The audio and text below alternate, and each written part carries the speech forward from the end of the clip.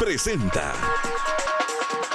Vestirse para ir a trabajar puede depender de muchos factores, la empresa donde se esté, el puesto que se tiene, la filosofía y reglas también del trabajo, pero hoy junto a mi queridísimo Alejandro Vidal estaremos dándole muy buenos consejos para todos aquellos hombres que se tienen que ver muy bien antes de llegar a la oficina o cualquier puesto de trabajo, eso sí, pensando en la comodidad y elegancia de cada hombre. Ale, gracias por acompañarnos. Gracias a ti, Anisa, por la invitación otra vez. Saludos a todos, qué gusto estar acá.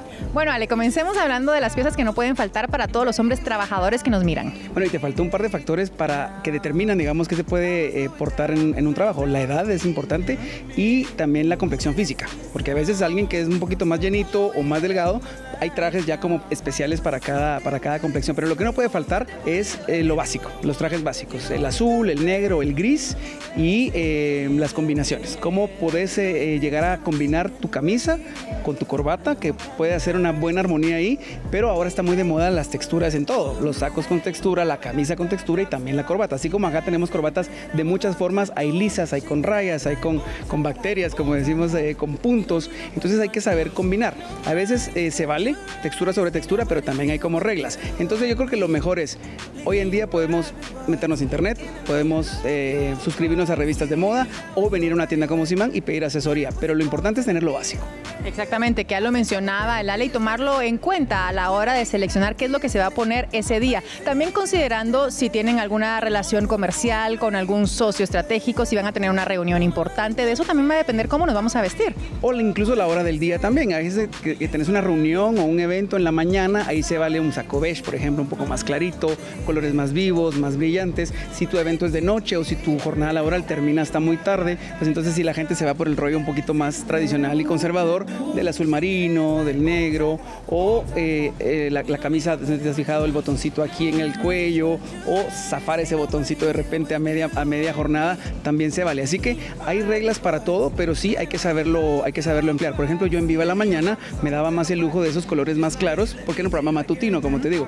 Ahora en el noticiero ya tengo que tirarme un poquito más hacia lo, a veces hacia lo más sobrio, digamos, o lo más conservador, porque es de noche, porque son noticias. Entonces creo que cada quien sabrá en su trabajo lo que su trabajo le exige y le permite. Otra cosa que me gusta mucho de la ley y que vale la pena a lo mejor imitar y tomar en cuenta esos consejos es que los detalles son importantes. La corbata ya hablamos de ella, pero por ejemplo los calcetines también hay que prestarles atención. Los calcetines, porque ya se ya, ya pasó muy de moda, eh, flaca, ¿te acordás el rollo de, bueno, el zapato es negro, el calcetín tiene que ser negro, o el pantalón es azul, el calcetín tiene que ser azul? Eh, hace mucho tiempo ya se empezó a ampliar una tercera opción en el color del, calcetín, por ejemplo, que la gente decía, pues ya se puede ponerle eh, un zapato café con un pantalón azul y un calcetín fucsia. O sea, era una combinación un poco impensable hace unos 10, 15 años y ahora ya se vale. Pero ahora hay más texturas todavía. Hay calcetines divertidos, hay calcetines con diseño, que si bob esponja, que si heladitos, que si fresas, que si palmeras, ya todo esto se vale porque sí, mucha gente le gusta lucir su calcetín, cruza la pierna casi que solo con ese propósito para que le digan, ay, qué lindos tus calcetines, o me llama la atención tu calcetín y creo que hay reglas. El calcetín blanco, por ejemplo, eminentemente deportivo, no hay de otra, y el negro y el azul pues siguen siendo tradicionales, no se ven mal, pero ya hay como licencias para, para variar y de repente decir o mandar un mensaje con tu calcetín, soy, soy divertido, soy relajado, soy, soy un poco más joven, soy un poco eh, mayor, pero soy relajado, ¿me entiendes? Hay como, como mensajitos implícitos prueben. Yo creo que hay, que experimentar placa, hay que saber eh, arriesgarse. Sin embargo, también pedir asesoría, como decíamos la semana pasada también, porque hay cosas que de repente me gustan, pero no me quedan bien. Entonces hay que saber qué es lo que te luce por tu estatura, por tu edad y, por, tu peso. Y vestirse para el éxito que pensamos vamos a tener en nuestro trabajo. El atuendo puede jugar un papel muy importante a la hora incluso de obtener ese trabajo con el que siempre hemos soñado. Y aquí en Almacenes Imán encontramos muchísimas opciones, así que vengan, desen una vuelta en el área de moda masculina que hay propuestas para todos. Ale, muchas gracias como siempre. Encantado, Flaca, cuando quieran. Un beso a todos. Un beso a todos y este fue Insiman y nos vemos la próxima semana. Adiós. Insiman presentó. ¡Eh, eh! ¿Dónde están? Aquí estamos. Bueno, Miren, estoy muy emocionado porque como ustedes saben, Makeup Designer y es la empresa que pues bueno, nos facilita a nosotros eh, eh, este rostro tan perfecto que ustedes tienen gracias al maquillaje de Makeup Designer. Y bueno, esta vez, sí, gracias, tranquilo, tranquilo, no, gracias. Miren, esta vez estoy acompañado de, bueno, un excelente maquillista. Es un maquillista profesional. Él es puertorriqueño, pero radica en Los Ángeles, California y por ende, pues bueno, trabaja en una de las industrias más demandantes en este tipo de trabajos, que sería la industria en Hollywood. Y pues les presento a Nicky, a Nico González. Nico, ¿cómo estás? Un aplauso para Nico.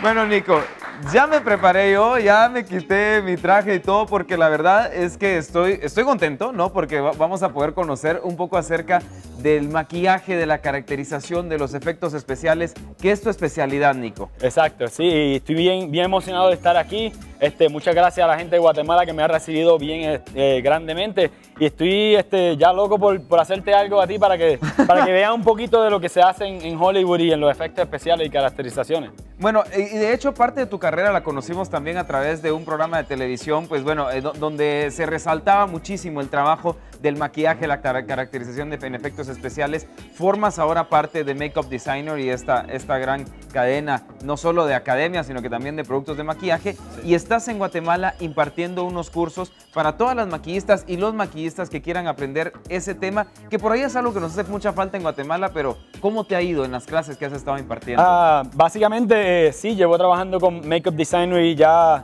cuatro años y gracias a Dios que estoy aquí en, Guatemala. Sí, estamos ofreciendo unas clases de efectos especiales y caracterización donde, donde hacemos todo tipo de silicón, de, de pinturas, de sangre, de caracterización, de prótesis, donde cambiamos la forma y hacemos aliens y hacemos diferentes tipos de zombies y eso. Y todo ofrecido allí en el, en el rooftop, ahí en Oakland Mall. Excelente. Bueno, contame un poquito acerca de tu carrera, Nico, porque también queremos conocerte a ti como artista. ¿Cómo arrancó todo este mundo del maquillaje en tu vida y a dónde te ha llevado? Pues básicamente en, Puerto Rico sí yo hacía un poquito de caracterización y en teatro y eso, pero tan pronto me mudé a Los Ángeles fui directamente a Makeup Designer y, gracias a estudiar ahí pues llevo, llevo eh, haciendo esta carrera ya, trabajo independiente freelance, he hecho trabajo en, en, canales como MTV, History Channel y diferentes tipos de películas y creando también no solamente maquillajes, también eh, escultura, molde y todo ese tipo de cosas porque el efecto especial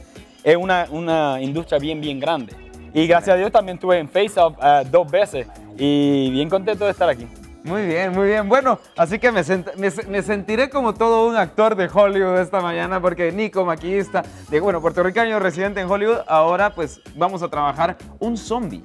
Sí, vamos a hacer uh, un poquito, vamos a dar un poquito de eh, a enseñarte algo de lo que se hace en, el... Una prueba. una prueba de lo que se hace de zombie allá en Hollywood. Muy bien, bueno, tenemos todavía un tiempecito antes que termine el programa, así que usted acompáñenos porque en este momento empieza un proceso de transformación. Pero antes de arrancar, déjenme darle una excelente recomendación y es que este domingo aún todos los maquillistas de Guatemala tienen la oportunidad de aprender esta, e, este género del maquillaje en sí gracias a, Mod. Y bueno, Nico, contanos un poco acerca del curso. Sí, vamos a estar este domingo allí en Makeup Designery en el, en, el Oakland Mod dando dos, dos tipos de, demostraciones. Vamos a estar haciendo un zombie completo de principio a fin y un alien completo que a muchas de las chicas le va, le va a encantar verlo porque bien también incluir un poquito de maquillaje de belleza. Este, y vamos a estar haciendo un, personaje completo de principio a fin, dos personajes todo el día. Excelente, bueno, yo me acerco dentro de los productos que, se van a utilizar, Nico, eh, bueno, no solo el maquillaje, sino látex, eh, distintos tonos, ah, muchos materiales, ¿no? Sí, vamos a estar utilizando diferentes pinturas a base de, alcohol, como paleta a base de alcohol, eh, pintura en crema, aerógrafo, brocha, y vamos a estar poniéndote todo ahí en la cara para que veamos cómo se, cómo se ve con un detalle prestando atención al detalle, que eso es lo más importante. Excelente. Bueno, arrancamos con este proceso, Nico. Soy todo tuyo, tenemos unos minutos. Ustedes acompáñenos. Bueno, a lo largo del programa estaremos viendo también todavía en estos minutos el parte del proceso. Así que no hay más que decir. Gracias, Nico. Seguro que sí. Vamos a ver por ahí. Y usted, mire, mientras hacemos eso, sentite como en tu casa, Nico, que aquí, pues bueno, vamos a estar. De verdad que vale mucho la pena. La, industria de, por ahí de producción audiovisual necesita también ese tipo de trabajo dentro de los maquillistas. Hablamos de cine, hablamos, eh, bueno, televisión, todo lo que tenga que ver con ficciones o inclusive teatro también, eh, pues bueno, amerita a profesionales que sepan de esto. Y para muestra, pues bueno, aquí tenemos ya al, profesor. Te fue muy bien también en, en los realities, ¿no, Nico? Sí, no, este, básicamente siempre siempre, siempre una buena aventura y siempre uno aprende mucho también y también uno aprende de uno mismo y ya uno sabe lo que, lo que a uno le gusta hacer, lo que no le gusta hacer y lo que, y lo que es bueno para la, para, pues, para la industria del maquillaje lo que es importante. Eso. Excelente. ¿Qué es lo que, que estamos aplicando ahora? Ahora mismo voy a empezar a aplicarte un poquito de látex en la cara porque quiero crear ese tipo de, de, de piel ya, ya se está empezando a podrir. Ok. Es como si ya te acabaron de morder y se está empezando a transformar. ¡No! Sí. Bueno, la transformación de, de humano a zombie normalmente en las películas dura 10 segundos. Ahora nos Exacto. va a tomar unos minutos Sí, más, exacto. pero va a quedar tal cual. Voy a comenzar a, a aplicarte un poquito de, de látex y luego cuando ya se esté secando pues vamos a crear otro tipo de efecto y, y con mucha luz y sombra pues podemos crear ese efecto. Excelente. Muy bien. Bueno, ¿les parece si vamos a ver qué más está sucediendo aquí en el estudio de Batevisión? En Viva la Mañana. Y ahora un ratito regresamos aquí con Nico y con el futuro zombie. No se despeguen. ¿Qué van a hacer, Julio? ¿Qué te van a hacer? No importa. Te prometemos un pedacito de brazo gitano que tal vez te, te le quite la cara de zombie. que va- aunque aunque algo zombie siempre se mantiene, no podemos decir como que a las cinco. la actitud ya la tiene, solo le van a cambiar el aspecto a nuestro querido Julio. Bueno, Emita, ¿cómo vamos por acá? Muy bien, entonces acá vamos a preparar el relleno para empezar a armar nuestro pastel. Ya aquí salió del horno. Recuérdense, tiene que no ser un dorado muy intenso porque como tiene que quedar suavecito para poder enrollarlo. Y eh, en este caso, pues ya lo tenemos acá listo y vamos a preparar el relleno. Vamos a tomar una parte de crema batida y en este caso le vamos a agregar un poco de mermelada de fresa. ¿Será como la cuarta parte, Emita? Podría ser como unas dos tazas. Y- Ah, Unas dos ¿Luego con tazas de sí? crema batida. Así, aquí está Ah, con el. ajá, aquí el está, muy La bien. miserable. Y no me refiero a la chef, no, me refiero a la, Pueden agregarle trocitos de fresa, pueden agregarle melocotón, Jalea, jalea, Jalea, fresa. la mermelada. mermelada de fresa. Le estamos agregando dos tazas. Puede ser de Sí, piña, de fresa, de durazno. Aquí ¿Y yo de tengo una pregunta. melocotón? ¿Se puede, necesariamente tiene que ser jalea o se puede agregar fruta o Se algo puede hacer un fresas con crema Ah, delicioso. Entonces ustedes le pican los trocitos de fresa y se la mezclan a la crema. Perfecto. Dulce Y de les leche. queda Ay, qué ay, cajeta. Le pueden Uh. poner, lo pueden rellenar con cajeta, lo pueden re- rellenar con crema de chocolate y avellana. Oh, Queda qué rico. Delicioso. Mantequilla de maní. sí, a ver. Miren, la, la pre- permítame, todo. la pregunta Sí, que yo quiero hacer es... Tenemos una pregunta, chef, a ver. Vamos para allá La, con nuestra la pregunta que yo quiero hacer es que si lo doramos más, si lo podemos servir en cuadritos sin necesidad de enrollarlo, Claro, claro. o sea, que sí. pedacitos para Si poder servir pasar- piecitas. Sí, si le llega a pasar Un que ya no lo puedan accidente que se pasó de cocido. Claro, o lo pueden, para no desperdiciarlo, Exacto, cortan en cuadritos o un cortador Yes. redondo de galletas y Ah, lo ponen rico. al fondo de una copa. O con cortador de pizza también se trocitos puede. de gelatina, leche condensada o un mousse. Qué rico. Sí, Le esa era quedar- mi pregunta. Por un accidente muy- que co- sí, se coció mucho, pues entonces pasa. buscar otra alternativa, ¿no? Claro, claro que sí, buscar otra. Si lo cortan así con cortador de galleta, lo que pueden hacer es que los sobrantes los hacen pedacitos y los sirven sobre helado bañado con salsa de chocolate. Se puede... Eso es demasiado. Sí, se puede puede tostar ser, más y quebrar Entonces aquí ya tenemos nuestra crema y ahí con, con cuidado, recuérdense que Ya listo, Pedro. Nunca lo he Con hecho. espátula Eso sí, en mano. nunca lo he hecho. Pero fíjate que la vez pasada demostraste tus habilidades A ver, ¿cómo- o sea, pasteleras, entonces Sí, no te a, tan mal. a- a llevarlo hasta los Emita, ¿está bordes. usted segura de que lo va a dejar él con semejante responsabilidad? Yo confío en Pedrito. Ah, bueno. Claro que sí. Confiamos A ver. en Pedro. Eso, está está bueno, bien. está bueno. Que regrese a bailar, Pedro. Jale. Ahí está, ¿ves? Tenemos Eh, a los que hambrientas. Ahora soy cocinero usted. A ver. Encontró su vocación. Ahí A sería bueno un rato Ahí de está. cocina. Lo tienen que dejar muy este parejo. Y- y así. recuérdense que lo trabajan suavecito porque como es una esponjita, ¿verdad? Entonces lo que queremos es que man- se mantenga esponjadito, ¿verdad? Lle- Llegamos el relleno a todos los bordes. Pedro, no es para la venta, le puedes echar más. Y también recuérdense Es que, que la- la- eh, relleno no en exceso. ¿oyeron? Porque a la hora de enrollarnos se nos, ay, se, se Emita, ¿no sale, le podemos echar un rebujito? Le vamos a echar va la, un- la golosa. Bien. Ya. Sí, Berito, le vamos a echar. Es que está más rico. Es más rico. Con más rico. rellenito. Ustedes Bueno, también. ¿saben qué pueden hacer también? A ver. Tener un jarabe delicioso o un jugo de naranja especiado y antes de rellenarlo le con Se moja. brochita, con cuchara, ustedes lo brochan sin exceso porque al enrollarlo se les puede romper, ¿verdad?